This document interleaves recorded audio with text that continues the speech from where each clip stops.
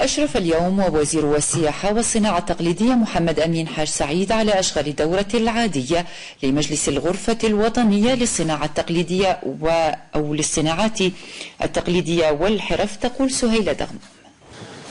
سيدي رئيس ملفات هامة تتعلق بالصناعات التقليدية والحرف ستساهم بشكل فعال في دفع حركية القطاع والوصول إلى تحقيق الأهداف المنتظرة هو ما ناقشه المجلس في دورته العادية.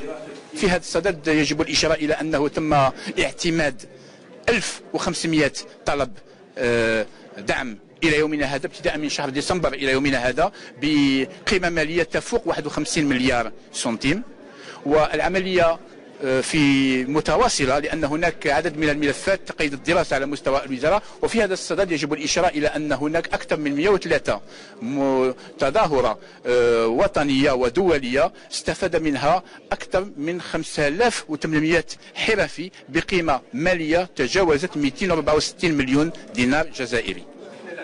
هذا وركز وزير القطاع على ضرورة التكوين وفق معايير المكتب الدولي للعمل وهو برنامج موجه لإحداث وتسيير المؤسسات الحرفية المصغرة.